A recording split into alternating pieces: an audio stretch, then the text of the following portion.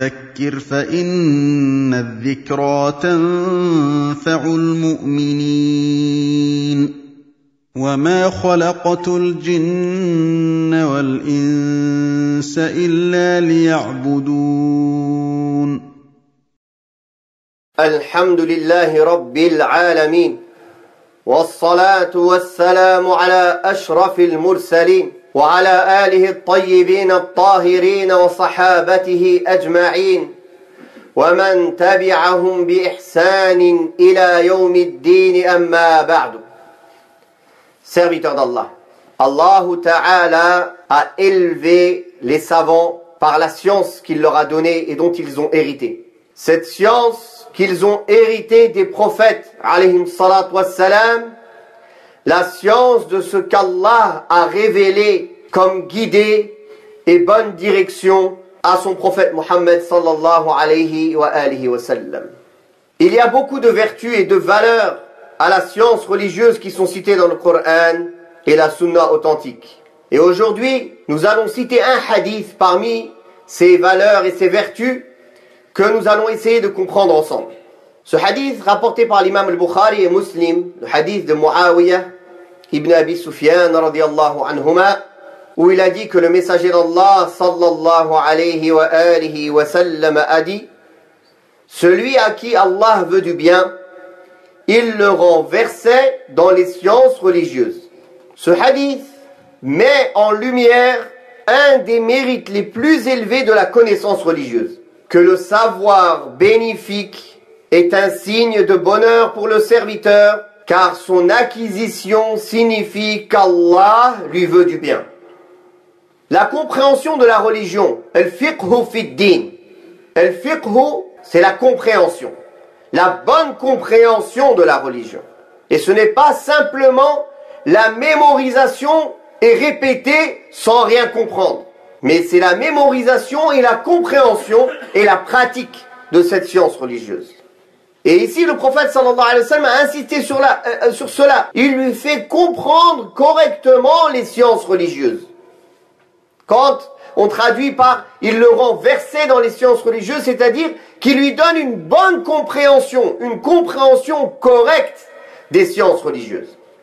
Donc, cette compréhension et cette connaissance, elle englobe les fondements de la foi, les principes et les règles de la loi islamique, mais aussi les préceptes régissant le concept de bienfaisance et les règles liées à la bienséance et au comportement. La religion s'articule autour de ces trois concepts, ainsi que l'on peut le voir dans le hadith de Jibril alayhi qui questionna le prophète Mohammed sallallahu alayhi wa alihi wa sallam au sujet de la foi, l'iman, au sujet de l'islam et au sujet de la bienfaisance, l'ihsan et auquel le prophète Mohammed sallallahu alayhi wa sallam donna des définitions et détermina les contours de chacun de ces concepts. Ainsi, le prophète sallallahu alayhi wa sallam décrivit la foi par ses six fondements et l'islam par ses cinq piliers et la bienfaisance en les termes suivants, comme il a dit sallallahu alayhi wa sallam, il s'agit d'adorer Allah comme si tu le voyais, car si tu ne le vois pas, lui, certes, te voit.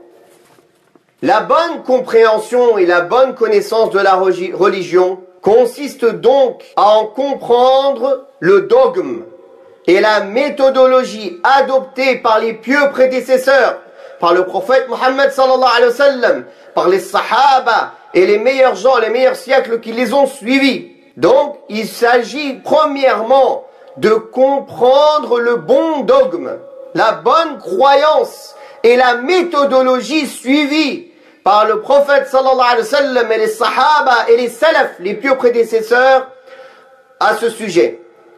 Tout en la mettant en pratique, tant en apparence qu'intérieurement. Il s'agit également de connaître les méthodologies des sectes opposées à la croyance des gens de la sunna et de savoir en quoi elles divergent des enseignements du Coran et de la sunna du prophète Muhammad sallallahu alayhi wa sallam. La bonne compréhension et la bonne connaissance de la religion, c'est également acquérir le savoir de la jurisprudence, ses fondements et ses détails, comme les principes régissant les actes d'adoration, les transactions commerciales, les peines légales et toutes les autres règles liées par la loi islamique.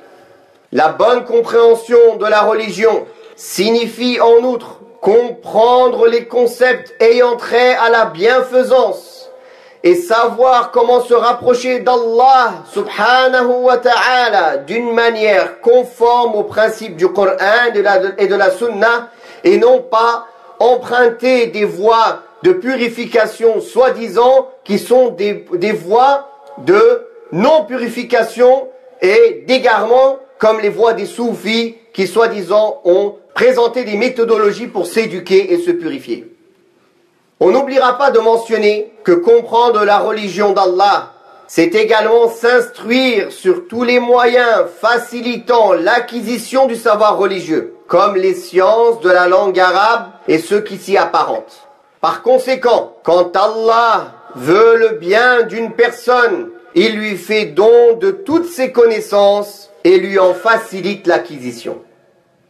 Par réciprocité, ce hadith sous-entend que se détourner complètement de l'acquisition de ses connaissances indique qu'Allah ne veut pas du bien à la personne concernée par ce détournement, par le fait qu'elle se détourne des sciences utiles, car il l'aura privé des moyens lui permettant de parvenir au bien et au bonheur. C'est pour cela, serviteur d'Allah, il est nécessaire à chaque musulman de faire les efforts et de lever les manches pour apprendre sa religion et comprendre sa religion d'une manière correcte, que ce soit dans le domaine du dogme et de la méthodologie, de la jurisprudence, de l'éducation et du chemin emprunté pour s'éduquer et entretenir sa foi dans tous les domaines de la vie, il est nécessaire d'apprendre correctement et de comprendre correctement. Et ça, c'est un signe de l'amour d'Allah pour cette personne, comme le fait de s'en détourner est un signe qu'Allah n'aime pas cette personne.